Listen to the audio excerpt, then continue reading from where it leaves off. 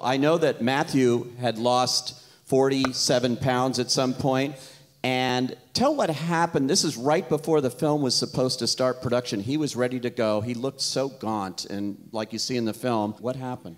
We had been um, going down the road with a Canadian financier for about nine months, and you know we were we were very close, and I think we were about eight weeks out from shooting and you know nothing like an actor who's lost a lot of weight to keep driving the you know driving the ship forward. And we got that call and we were on the phone with the canadian financier and we are like you don't have the money do you? He's like no i don't but i, I think i'm still going to get it. And we're like oh my god.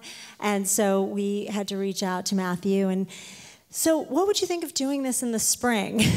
and that obviously, you know, was not a, a possibility. He had a, an HBO um, project he was doing right after. We were slated to do Dallas. He's like, "You got, you girls got to get this thing together." And everyone at that point just buckled down. It was a combination of CAA, Cassian Elwes, Voltage, um, and and uh, Equity out of Texas, and we pulled it together. We ended up with, I think, three and a half weeks of paid prep. Wow. So. And the, the Texas, the financiers that came in are make fertilizer, right? Truth Entertainment, yes. Truth, unbelievable.